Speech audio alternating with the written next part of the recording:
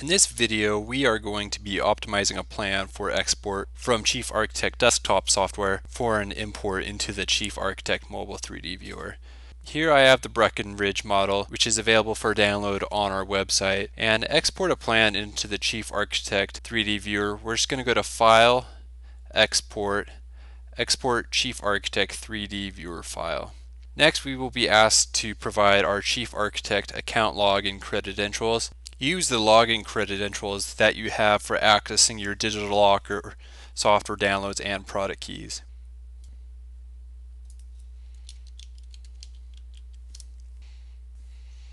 Next we can give our plan a new name if we're unhappy with the current name and description. Below we have information about our surface count and texture size. This information is important because it determines how the plan will perform on your mobile device. Plans with a higher surface count and texture size may not perform as well if your mobile device is on the weaker side of our system requirements which are available on our website. An ideal plan will have a surface count no more than 500,000 and a texture size of 50 megabytes or less. So what we're going to do is turn off layers and symbols in order to minimize this surface count and texture size. So we're just going to go ahead and cancel out of this.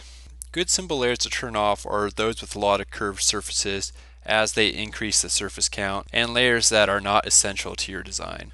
So let's start by taking a look at this car and I'm going to press spacebar and then select it and I'm going to open this symbol for editing. And here we have information about our symbol but the piece of information I am most concerned about is the number of faces.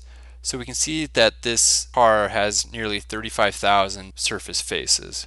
So this would be a good layer to turn off. So we're just going to go ahead and press cancel.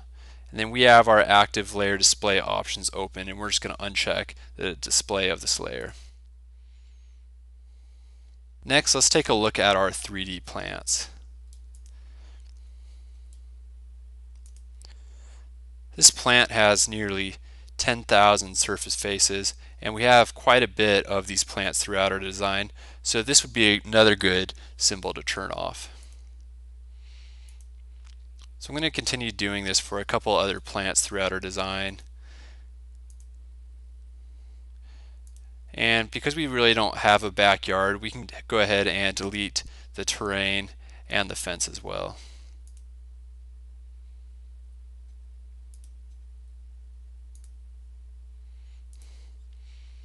And then we're going to turn off our driveway too.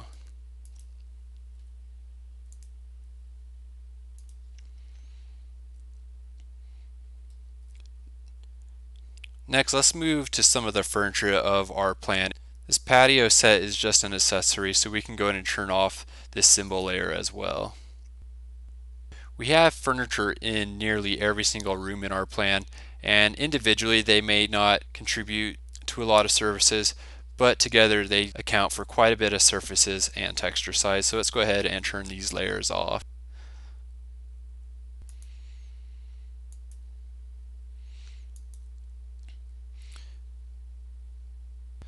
And now let's take a look at our surface count and texture size.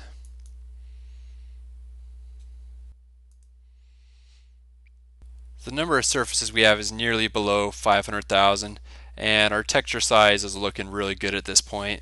So let's continue to turn off a few more layers. So I'm going to go ahead and cancel out of this. And I'm going to go ahead and go up to our select objects just one more time and for this model, we do not need to see our framing once it's on the mobile 3D viewer, so let's go ahead and turn off some of our framing layers that are currently displayed. And we're going to go ahead and turn off our floor trusses, our roof rafters, and we don't have any exposed rafters. If we did, we would keep this layer on, but for this plan, we can go ahead and turn it off. And then our wall framing. And now let's take one more look at our surface count.